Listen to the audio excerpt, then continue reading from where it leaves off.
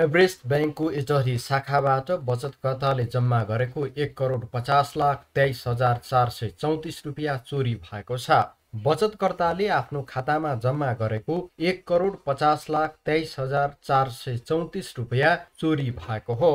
तेत्तिसजना बचतकर्ताको खाताबाट रकम चोरी भएपछि प्रहरीले ब्याङ्कको हिटरी शाखा प्रबन्धक सहित नौजनालाई पक्राउ गरेको छ। पक्राउ पर्ने सातजना ब्याङ्कका कर्मचारी हुन्। जिल्ला प्रहरी कार्यालय सुनसरीका प्रवक्ता डिएसपी राजकुमार राईका अनुसार पाँच महिनाको अवधिमा तेत्तिसजना ग्राहकको खाताबाट एक करोड पचास लाख तेइस हजार चार सय चौतिस रुपियाँ चोरी भएको हो। पाँच महिनाको अवधिमा उनासाठी पटक कनेक्ट आइपिएस मार्फत सो रकम निकालेको देखिएको उनले बताए। ब्याङ्कका कर्मचारीले ग्राहकको कनेक्ट आइपिएसको आइडी पासवर्ड चोरेर रकम पठाउने गरेको पाइएको छ। त्यस्तै कोर ब्याङ्किङ सिस्टम सिबिएसबाट निष्क्रिय खातामा पठाउने र नक्कली चेक प्रयोग गरेर सो रकम निकालेको पाइएको उनले बताए। रकम अन्य ब्याङ्कको विभिन्न शाखामा पनि पठाउने गरेको देखिएको छ।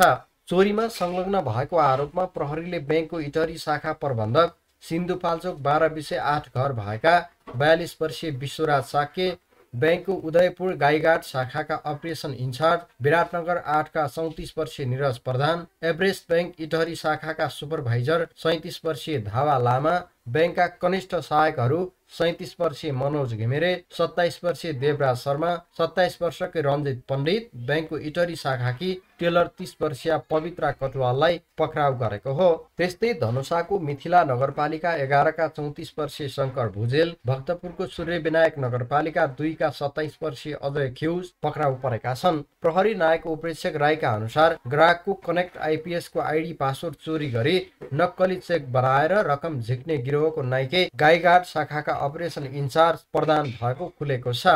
इटरी शाखामा कार्यरत प्रधानको गत मार्च बाह्र तारिकमा गाईघाट सरुवा भएको थियो। उनको योजनामा चौध नोभेम्बर दुई हजार बाइसदेखि एकतिस मार्च दुई हजार तेइससम्म पाँच महिनाको अवधिमा उनासाठी पटक कनेक्ट आइपिएसबाट एक करोड चौध लाख पचहत्तर हजार दुई सय चौरासी रुपियाँ निकालिएको पाइएको छ।